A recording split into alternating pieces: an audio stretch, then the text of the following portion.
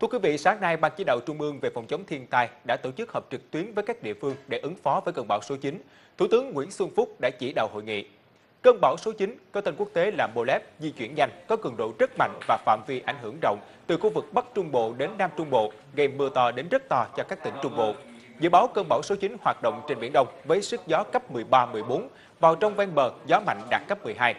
Cơn bão có đường đi và cấp độ tương đương cơn bão số 12 đổ bộ vào tỉnh Khánh Hòa năm 2017 đã gây thiệt hại nghiêm trọng cho các tỉnh, thành phố, khu vực Nam Trung Bộ. Tại hội nghị lần này, Thủ tướng Nguyễn Xuân Phúc đã yêu cầu các địa phương và các cơ quan có liên quan cần tiếp tục tập trung hỗ trợ cho người dân của các tỉnh miền Trung bởi ảnh hưởng của mưa lũ thời gian vừa qua, tìm kiếm người còn đang bị mất tích. Trước tình hình phức tạp của cơn bão số 9, Thủ tướng cũng nhấn mạnh các địa phương không được chủ quan, chủ động phòng chống, giảm thiểu thiệt hại một cách tốt nhất. Trong đó đảm bảo an toàn tính mạng của người dân là điều quan trọng nhất. Kêu gọi ngư dân lên bờ trước khi thời điểm bão đến, đưa tàu thuyền vào bến neo đậu an toàn, chống va đập. Các địa phương lập phương án sơ tán dân phù hợp, đặc biệt là người dân ở vùng thấp, vùng ven biển. Thủ tướng nhận định tại khu vực miền Trung độ dốc lớn, nước ngâm lâu ngày, vấn đề sạt núi lở núi có thể xảy ra bất cứ lúc nào.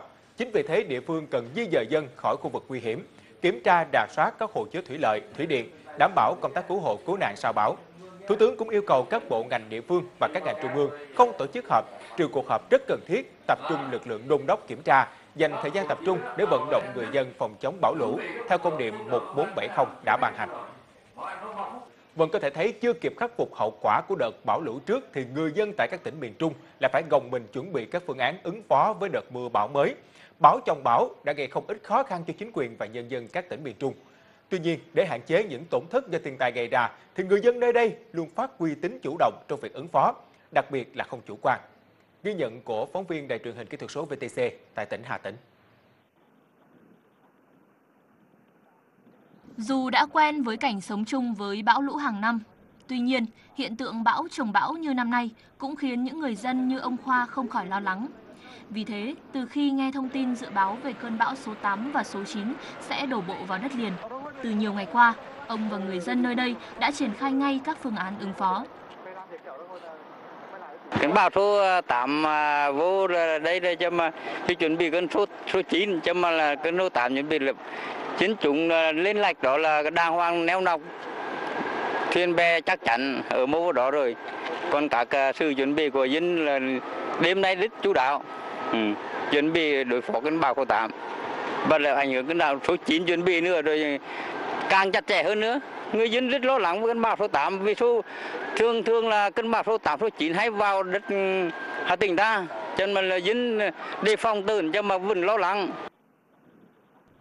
Trước diễn biến phức tạp của bão số 8 và số 9, Hà Tĩnh đã kêu gọi tất cả hơn 4.000 tàu thuyền cùng hàng nghìn lao động trên biển vào nơi tránh trú an toàn. Công tác vận hành hồ chứa thủy lợi và thủy điện được thực hiện nghiêm túc. Phương án di rời hàng nghìn hộ dân cũng đã được tính toán kỹ lưỡng phòng tình huống xấu xảy ra. Với ờ, đồng bào thì nói chung là nhà cửa thì họ cũng có ai thì họ cũng toàn bộ họ cũng chuẩn bị cả rồi. Bây giờ thì ở trên ờ, về mặt ngoài biển thì tàu thuyền này lúc to lúc nhỏ thuyền to thuyền nhỏ lớn bé thì họ cũng đã chuẩn bị để ờ, đưa lên để đối phó với bão của số 8 rồi. Và huy động tối đa các cái lực lượng để dọn vệ sinh. Và điều chúng tôi băn khoăn lo lắng nhất đó là cái, cái sắp tới cơn bão số 8, số 9 có thể ảnh hưởng vào khu vực miền Trung và ảnh hưởng vào à, tỉnh Hà Tĩnh. Và cùng theo đó thì chúng tôi tiếp tục đề ra các cái kế hoạch phù hợp để người dân chủ động trong phòng chống thiên tai. Mưa lũ những ngày qua đã làm trên địa bàn tỉnh Hà Tĩnh có 6 người chết. Nhà cửa, các đồ dùng gia đình, vật dụng, lương thực, gia súc, gia cầm bị thiệt hại rất lớn. Trong khi đó, tại tỉnh Quảng Bình do ảnh hưởng của đợt mưa lũ vừa qua, hệ thống kết cấu hạ tầng giao thông đường bộ trên địa bàn tỉnh này đã bị thiệt hại nặng nề. Đặc biệt trên các tuyến quốc lộ, tỉnh lộ tại khu vực miền núi của tỉnh Quảng Bình đã xuất hiện hàng trăm điểm bị sạt lở với khối lượng lên đến hàng vạn mét khối đất đá. Tại khu vực từ km 136 850 đến km 137 350 trên quốc lộ 12A, đoạn qua xã Dân Hóa, huyện Minh Hóa, tỉnh Quảng Bình, toàn bộ nền mặt đường nơi đây đã bị đẩy trồi và đứt gãy trượt về phía suối với khối lượng hàng vạn mét khối đất đá và trong điều kiện thời tiết bất lợi, trời liên tục có mưa, nguy cơ tiếp tục sạt lở đất là rất cao. Tuy nhiên, ngành giao thông vận tải Quảng Bình vẫn đang tiếp tục nỗ lực cố gắng để sớm khắc phục hậu quả. Và theo thống kê của Sở Giao thông tỉnh Quảng Bình, mưa lũ đã làm hệ thống giao thông trên toàn tỉnh này bị thiệt hại nặng nề. Trong đó riêng các tuyến do Sở quản lý cần đến gần 100 tỷ đồng để khắc phục bước một. Đặc biệt tại nhiều tuyến đường độc đạo dẫn lên các xã miền núi của tỉnh thì nền mặt đường bị sạt lở nghiêm trọng, làm cô lập hoàn toàn các xã ở khu vực này. Riêng điểm sạt lở trên quốc lộ 12A đoạn gần cửa khẩu quốc tế Cha Lo cần 40 tỷ đồng để phục vụ cho việc khắc phục. Thưa quý vị, do ảnh hưởng của cơn bão số 8 vừa qua suy yếu thành vùng thấp, khu vực Hà Tĩnh có mưa vừa đến mưa to, có nơi mưa rất to. Bắt đầu từ 7 giờ sáng nay 26 tháng 10, hồ Kẻ Gỗ đã tăng lưu lượng xả tràn để đảm bảo công tác an toàn cho hồ chứa và đón mưa lớn. Cụ thể, hồ Kẻ Gỗ sẽ tăng lưu lượng xả tràn từ 250 m khối mỗi giây lên 300 và 400 m khối mỗi giây. Hiện mực nước hồ lúc 15 giờ 30 phút ngày hôm qua đo được là 30,35 m, tương ứng với dung tích 284 triệu mét khối.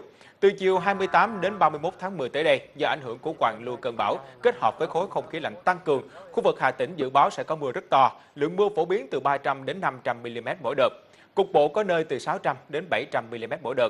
Đến 10 giờ ngày 28 tháng 10, hồ Kẻ Gỗ giảm lưu lượng xả quạt đóng tràn để đón lũ. Khu vực hạ du các huyện Cẩm Xuyên, Thạch Hà, thành phố Hà Tĩnh và các xã chịu ảnh hưởng trực tiếp do xả lũ cần phải khẩn trương được thông báo đôn đốc và hướng dẫn nhân dân thực hiện các biện pháp an toàn.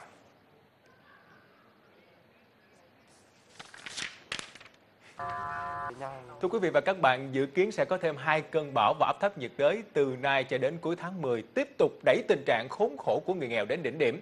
Đó là nhận định của các chuyên gia Tổng cục Phòng chống thiên tai, Bộ Nông nghiệp và Phát triển nông thôn cùng đối tác giảm nhẹ phòng chống rủi ro thiên tai trong hội nghị đánh giá tác động của ảnh hưởng mưa lũ miền Trung đến đời sống của người dân trong thời gian vừa qua. Ít nhất 150.000 người cần hỗ trợ lương thực khẩn cấp trong 5 đến 6 tháng tới. 10.000 người dễ bị tổn thương sẽ cần hỗ trợ để khôi phục các hoạt động sinh kế sản xuất nông nghiệp.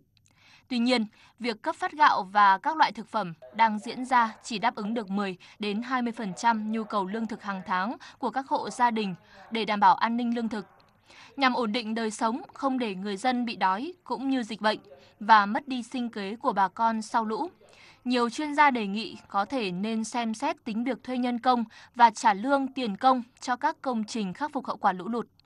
Điều này có thể mang lại thu nhập thêm cho các hộ dễ bị tổn thương ở địa phương. Bên cạnh đó, các phương án khôi phục sản xuất nông nghiệp bằng cách cải tạo đất nông nghiệp, cải thiện tưới tiêu, bơm tưới và cung cấp vật tư giống nông nghiệp, cung cấp nhanh các dịch vụ khuyến nông và thú y, các công cụ đánh bắt cũng được đưa ra. Và đặc biệt, gia hạn nợ ngân hàng cho các hộ nông dân bị mất mát do bão. Bên cạnh đó, hiện thiệt hại ban đầu về nhà cửa của người dân miền Trung bị ảnh hưởng bởi đợt mưa lũ vừa qua lên đến hơn 11 tỷ đồng. Tiếp tục hỗ trợ sửa sang nhà cửa và xây mới các mô hình nhà chống lũ cũng được đưa ra như giải pháp chống chọi với tình hình mưa bão tiếp tục diễn biến phức tạp trong thời gian tới.